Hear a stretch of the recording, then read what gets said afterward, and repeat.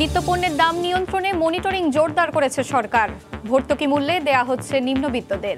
রমজানেও থাকবে সহনীয়, সংসদে প্রধানমন্ত্রী। ঈদযাত্রা নিয়ে আগে ভাগেই তোড়জোড়। ঢাকা, গাজীপুর মহাসড়ক নিয়ে উদ্বেগ। এপ্রিলেই বিআরটি প্রকল্পের নিচের সড়ক প্রস্তুতের আশা, চাপে ঠিকাদাররা। ভাষান্তরে গেল আরও দুই হাজার রোহিঙ্গা। নিরাপদ আশ্রয় ও জীবিকা নির্বাহের নানা প্রকল্পে খুশি সবাই। পূর্ণ মর্যাদা নিয়ে মিয়ানমারে ফেরার আশা। এবং মধ্যরাতের খেলায় হারতে যাচ্ছেন পাকিস্তানের প্রধানমন্ত্রী ইমরান খান। বিরোধীদের সঙ্গে হাত মেলালো প্রধান শরিক দল, হারাচ্ছেন সংখ্যাগরিষ্ঠতা।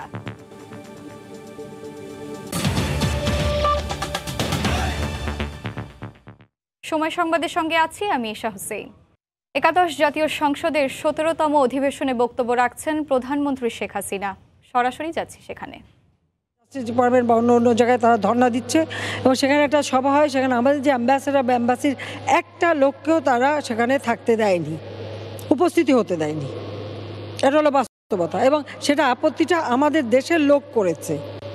যে আজকে র্যাবের যে বদনাম বা এটা এটা কিন্তু আপনি অন্যকে দোষ দিয়ে লাভ নেই। আমার দেশের মানুষই যদি বদনামটা করে, তাহলে এখানে তো বলার কিছু নেই। এবং সেইভাবেই এই স্যাংশনটা এসছে। আরেকটা বিষয় হচ্ছে যে বাংলাদেশে, এখানে একটা বাস্তব কথা বলি। আপনারা দেখেন, স্বাধীনতার পর মাত্র নয় মাসের মধ্যে জাতির পিতা বঙ্গবন্ধু শেখ মুজিবুর রহমান একটা সংবিধান দিলেন। শুধু সংবিধান দিলেন না, সংবিধানের ভিত্তিতে একটা নির্বাচনও দিলেন। অর্থাৎ গণতান্ত্রিক পদ্ধতিটা তিনি সুষ্ঠুভাবে চালু করলেন। কিন্তু পঁচাত্তর পনেরোই আগস্ট তাকে নির্মমভাবে হত্যা করল। আর তারপর থেকে সংবিধান লঙ্ঘন করে, আর্মি রুলস অ্যাক্ট লঙ্ঘন করে প্রথমে জিয়াউর রহমান ক্ষমতা নিল, একাধারে সেনাপ্রধান, একাধারে রাষ্ট্রপতি। আবার তার পদাঙ্ক অনুসরণ করে জেনারেল এরশাদও ঠিক একই কাজ করলেন, সেনাপ্রধান প্লাস রাষ্ট্রপতি ডিক্লেয়ার করলেন। তো এইভাবেই তো ক্ষমতার পালাবদল শুরু হলো। আমরা এর বিরুদ্ধে সংগ্রাম করেছি, আন্দোলন করেছি, আমরা গণতন্ত্র এনেছি এই দেশে। একটা গণতান্ত্রিক ধারা বাংলাদেশের ইতিহাস যদি আপনি দেখেন, ছিয়ানব্বই সালে যখন আমরা সরকার গঠন করি, আওয়ামী লীগ দু হাজার এক সালে ক্ষমতা হস্তান্তর করি, আপনি বাংলাদেশের ইতিহাস ঘেটে দেখেন, শান্তিপূর্ণভাবে কখনো ক্ষমতা হস্তান্তর হয় নাই। একমাত্র ছিয়ানব্বই সালে ষোলোই জুলাই যখন আমি ক্ষমতা হস্তান্তর করে আসি, কিন্তু তার পরপরই কী হয়েছিল? বঙ্গভবন থেকে প্রধানমন্ত্রী তো ছেড়ে দিয়ে তত্ত্বাবধায়ক সরকার হলো, শপথ নিল, ফিরতে পারলাম না। তেরো জন সচিব, আধা ঘণ্টার মধ্যে তেরো জন তেরো জন সচিব বিদায়। সিনিয়র সচিবরা সব। ভালো ভালো অফিসার। এমনকি যাদের মধ্যে অনেককে বঙ্গবন্ধু শেখ মুজিব বিদেশে পাঠিয়ে পিএইচডিও করিয়ে নিয়েছেন, তাদের বিদায়। সেই থেকে শুরু হলো তারপরে যা ইলেকশন দু হাজার একের, মারামারি, কাটাকাটি যা হয়েছে সেগুলির বহু রিপোর্ট আছে। যাক এই এই তো অবস্থা বাংলাদেশে। আপনি যদি হিসাব করেন মাননীয় স্পিকার ওই একবার ক্ষমতা হস্তান্তর পরিবর্তন শান্তিপূর্ণভাবেই হয়েছিল। তার আগে কিন্তু হয়নি। জেনারেল জিয়াকে সে নিহত হলো। একাশি সালে নির্বাচন, সেটাও একটা নির্বাচন এরকম মানে একটা প্রকাশ্যে একেবারে ভোট চুরি করে নির্বাচন। এবং বাংলাদেশের রাষ্ট্রপতির প্রার্থী, সেনাপ্রধান বলে দিলেন তিনি আমার প্রার্থী। আমি নিজে সাত্তার সাহেবকে বঙ্গভবনে বলেছিলাম যে আপনি তো জনগণের প্রার্থী হবেন। সেনাপ্রধানের না। আর সেনাপ্রধানের যখন আপনি প্রার্থী হয়েছেন, তো বেশি দিন টিকতে পারবেন না। আজকে বেঁচে নাই যে ওবায়দুর রহমান সাহেব থেকে শুরু করে ওখানে যারা ছিলেন, আমাদের বদরুদ্দোজা চৌধুরী এটি বাড়ি এরকম অনেকেই ছিলেন। আমি তাদেরকেও বলে আসছিলাম যে, আমি বললাম আপনাদেরকে আপনারা ইলেকশনটা ফেয়ার করে দেন। কারও প্রার্থী হতে যেন না, এর ফলাফল ভালো হবে না। তিন মাসও যাবে না, ক্ষমতায় থাকতে পারবেন না। যারা আজকে প্রার্থী করছে, তারাই ধাক্কা দিয়ে ফেলে দিয়ে ক্ষমতায় চলে আসবে। ঠিক সেই ঘটনাই ঘটলো বাংলাদেশে।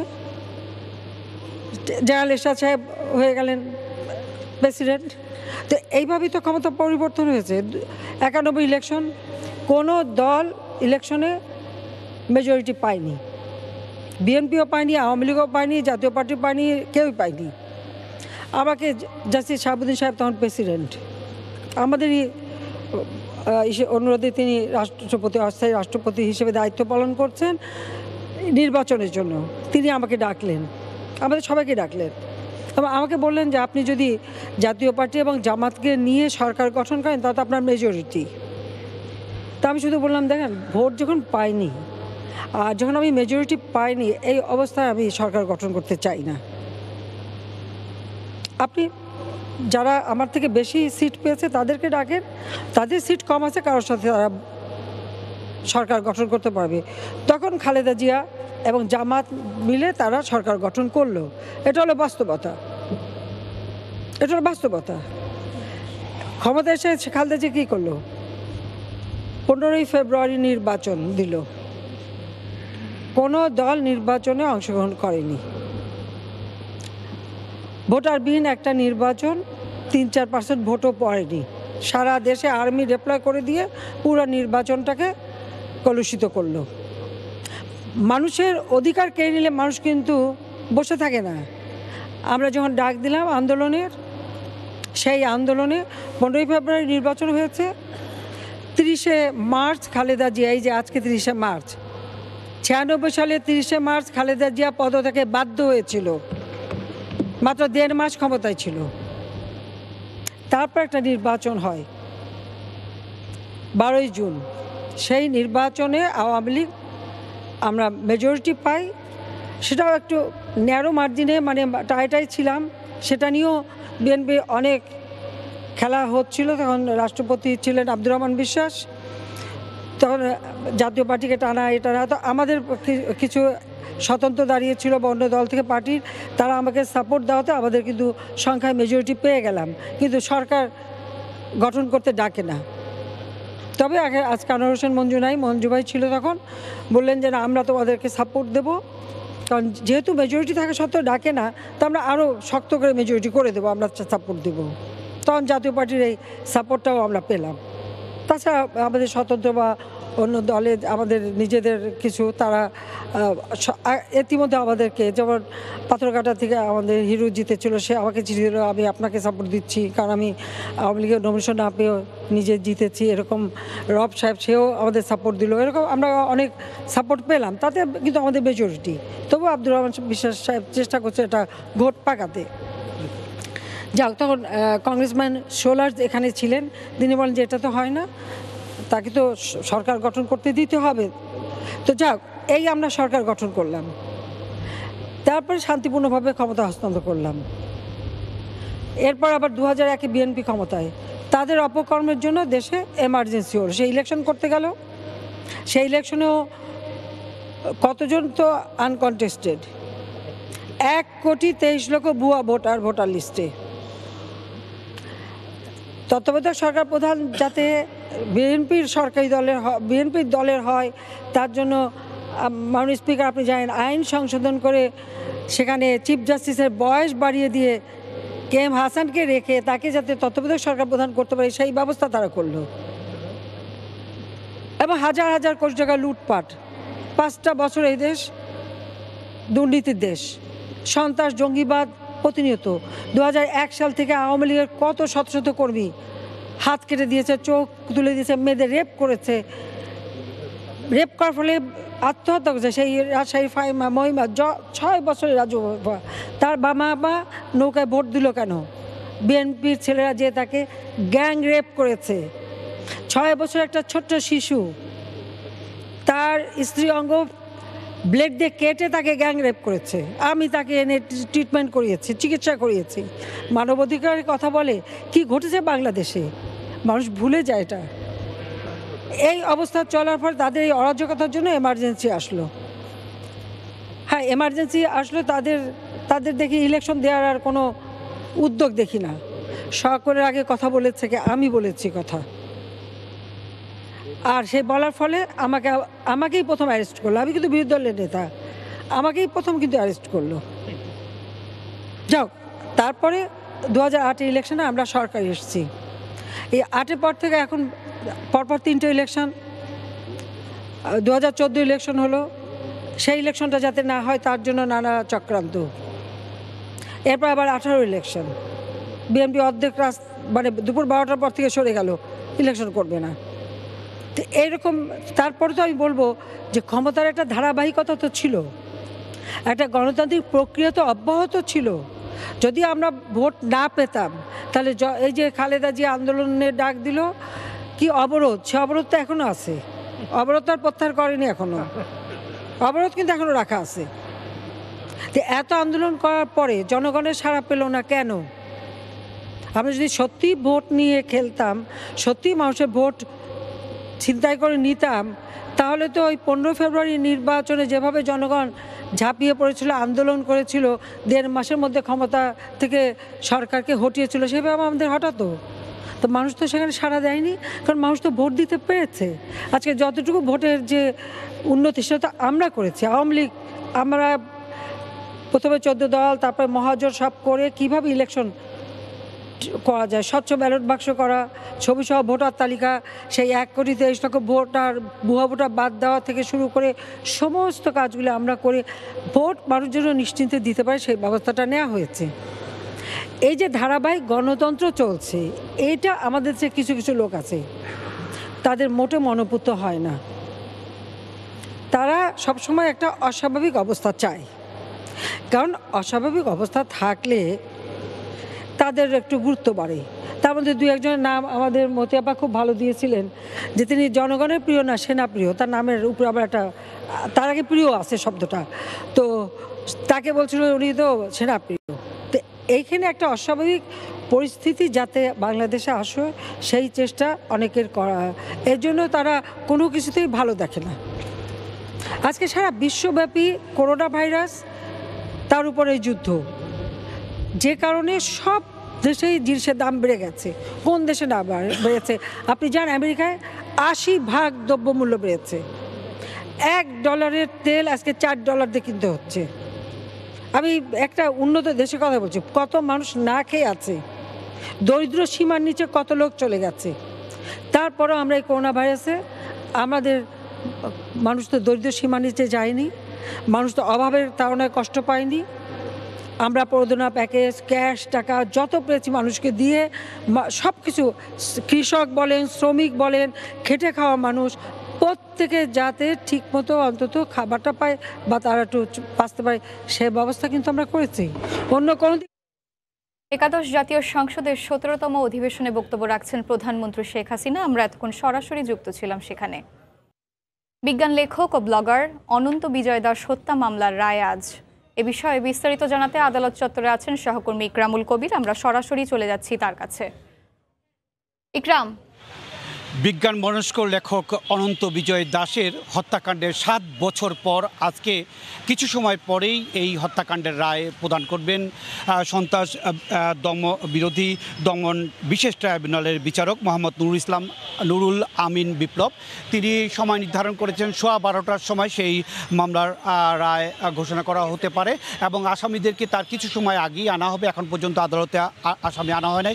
বলে রাখা প্রয়োজন যে দুই সালে বারো মে সকাল সোয়া আটটার দিকে অনন্ত বিজয় দাস যখন পুবার ব্যাংকের কর্মকর্তা অনন্ত বিজয় দাস যখন ব্যাংকের দিকে যাচ্ছিলেন, তখন সুবিদ বাজার এলাকায় দস্তিদার বাড়ির পুকুরের পাড়ে তাকে কুপিয়ে হত্যা করা হয়। হত্যা করার পরে তার ভাই পরের দিন রত্নেশ্বর দাস মামলা দায়ের করেন বিমানবন্দর থানায় এবং এই অজ্ঞাত চারজনের বিরুদ্ধে মামলা দায়ের করেন। পরবর্তীতে তিনজন আসামিকে গ্রেপ্তার করা হয় এবং তিনজন আসামির মধ্যে আব্দুল মান্নান একশো চৌষট্টি দ্বারায় আদালতে স্বীকারোক্তিমূলক জবানবন্দি দিয়েছিলেন, কিন্তু অন্যান্য আসামিরা পলাতক রয়েছে। বর্তমানে আবুল খায় রশিদ এবং শফিউর রহমান ফারাবি তাদেরকে আনা হবে আদালতে এবং এই ফারাবির অভিজিৎ হত্যা মামলার যাবজ্জীবন দণ্ডপ্রাপ্ত আসামি তাকেও আনা হবে। এই দুজন আসামিকে আনা হবে এবং এই দুজন আসামির উপস্থিতিতে সোয়া বারোটা কিছু সময় পর এই রায় প্রদান করা হবে। সব কিছু মিলে বলা যায়, আদালত প্রাঙ্গণে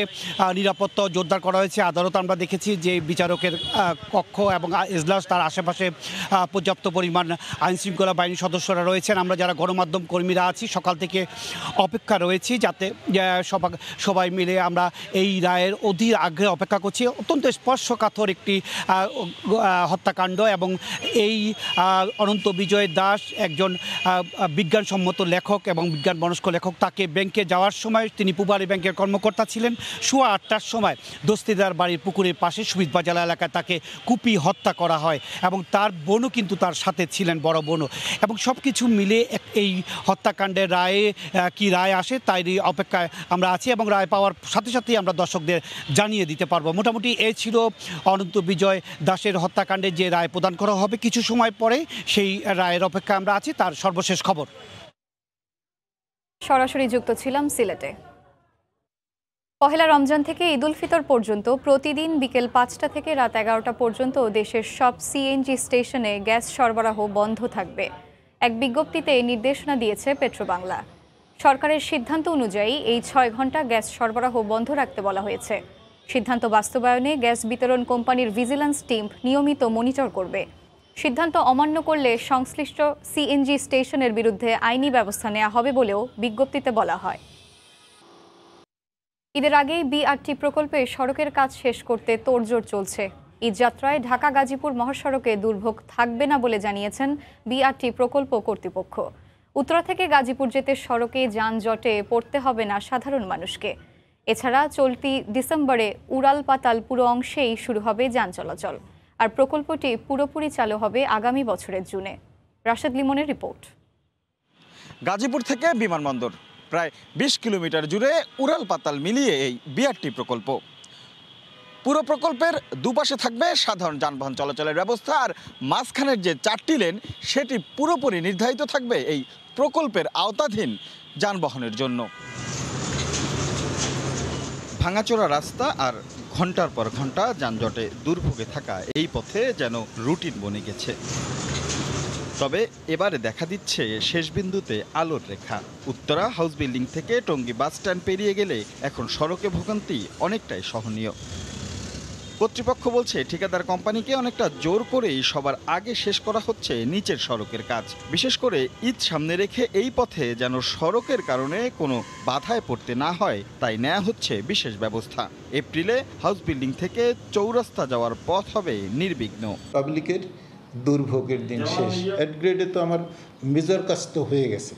এখন যে কাজ বাকি শেষের ফিনিশিং বলতে যেটা বোঝায় বা ওই যে ব্যারিকেডগুলি দেয়া। ঈদের ঝামেলা অলরেডি গান কিন্তু আমার এই বর্ষার ভোগান্তি এটাও শেষ।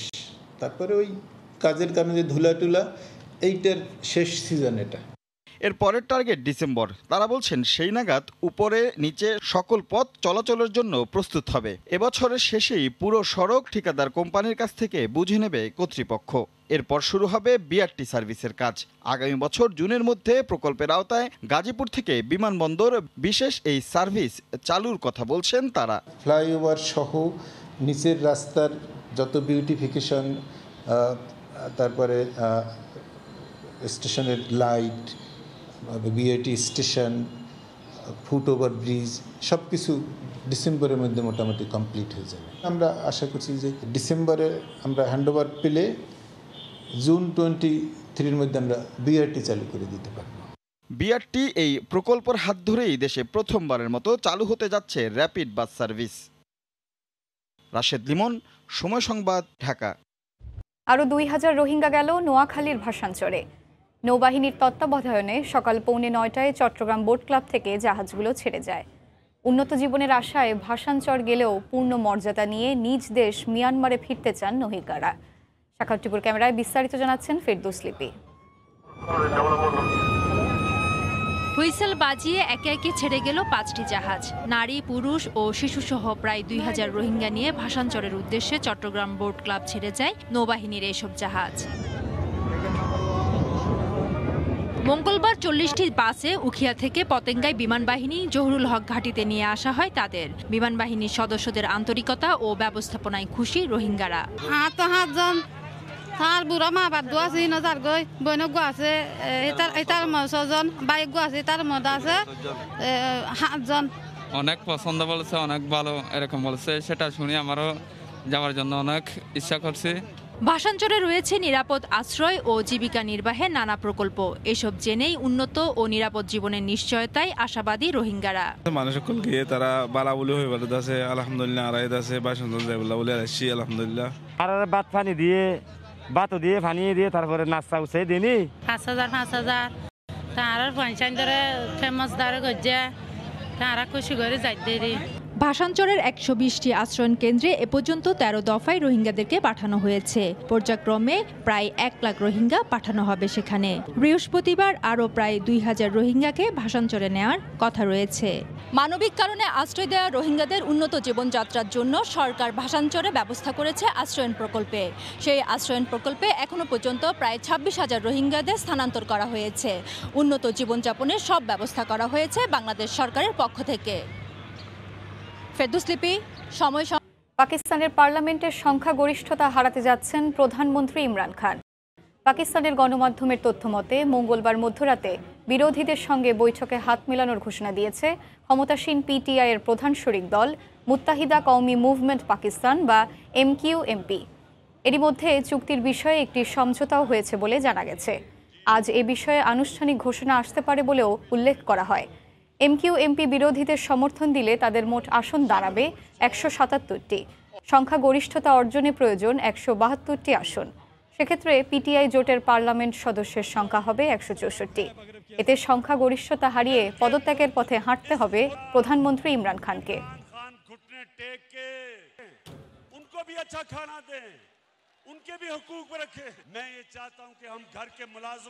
পর্যায়ে শীর্ষ সংবাদগুলো জানিয়ে দিচ্ছি আরেকবার। র্যাবের উপর নিষেধাজ্ঞায় জড়িত দেশেরই একটি অংশ। আওয়ামী লীগকে ভোট দেয়ায় বিএনপি যখন নির্যাতন চালিয়েছিল, তখন কোথায় ছিল মানবাধিকার? সংসদে প্রশ্ন প্রধানমন্ত্রীর। ঈদযাত্রা নিয়ে আগে ভাগেই তোড়জোড়। ঢাকা, গাজীপুর মহাসড়ক নিয়ে উদ্বেগ। এপ্রিলেই বিআরটি প্রকল্পের নিচের সড়ক প্রস্তুতের আশা, চাপে ঠিকাদাররা। এবং মধ্যরাতের খেলায় হারতে যাচ্ছেন পাকিস্তানের প্রধানমন্ত্রী ইমরান খান। বিরোধীদের সঙ্গে হাত মিলালো প্রধান শরিক দল, হারাচ্ছেন সংখ্যাগরিষ্ঠতা। এই ছিল সময় সংবাদের সঙ্গে থাকুন সময়